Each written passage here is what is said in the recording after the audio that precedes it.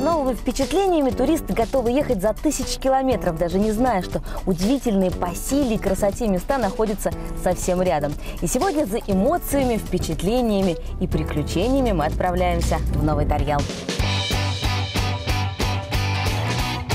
Неожиданно наша поездка оказалась столь увлекательной и насыщенной, что впечатления от нее не поместились в один выход рубрики «Колесим по краю». В прошлый раз мы рассказывали о частной коллекции ретро-автомобилей Андрея Куклина. Итак, наше путешествие продолжается.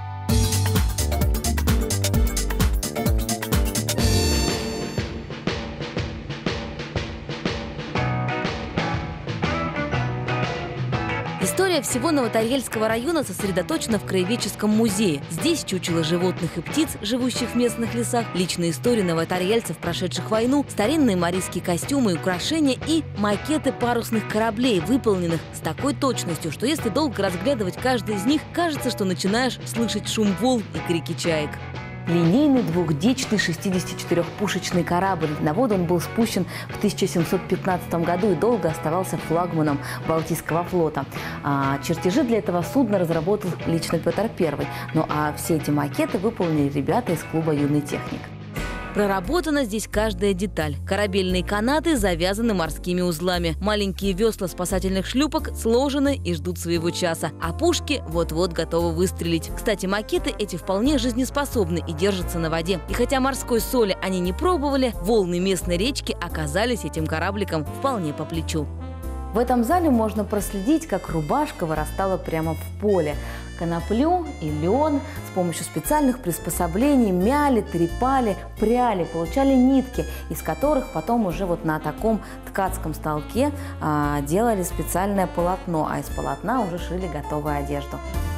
Создание полотна с нуля – дело непростое. Например, волокна конопли толкли в ступе сразу несколько женщин с утра и до поздней ночи, несколько дней подряд. А пряли, то есть превращали бесформенную кудель в нити, девушки долгими зимними вечерами при свете лучины. Кстати, марийские женщины считались большими искусницами в ткацком деле. С помощью одного такого станка могли изготовить до 12 видов полотна. Потом полотно выносили на холод. Так оно становилось белее. Изначально национальная одежда Марии выглядела вот так так лаконично. Белое полотно, вышитое красной береговой нитью, а веселенькие разноцветные узоры появились только в эпоху современных красителей.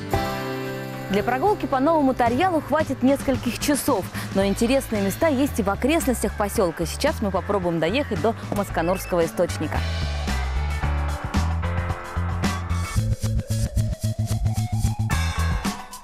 Качество дороги на участке от Нового Тарьяла до Масканура оставляет желать лучшего. Зато пока объезжаем ямы, есть время полюбоваться видом за окном. Заблудиться практически невозможно. Источник в Маскануре место известно. Следуя указателям, легко находим дорогу. Проход к источнику находится прямо между двумя жилыми домами. И сразу становится понятно, приехали мы сюда не зря. Находится ключ на возвышенности, и сверху нам открывается головокружительный вид.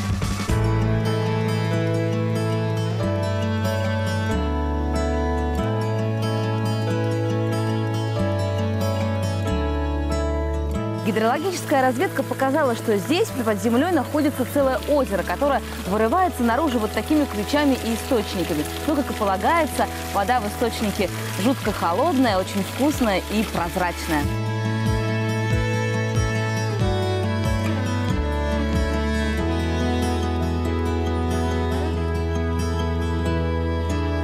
Наверху оборудованы две купели, отдельно для мужчин и женщин. Есть небольшая часовенка, источник освещен и, конечно, имеет свою легенду. Когда-то давно заболел местный священник, стали подводить ноги, и решил он омыть больные ноги в источнике, и тут же излечился. Молва гласит, что произошло это в день святого великомученика Пантелеймона Целителя. Именно в его честь и назвали источник. Насколько излечилась от всех хворей наша съемочная группа, пока не ясно. Зато настоящую эстетическую прививку от повседневной скуки итоге мы получили.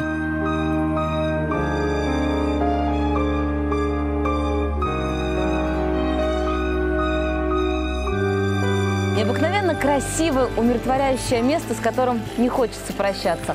Но на этом наше путешествие заканчивается, а ваше может начаться прямо сейчас.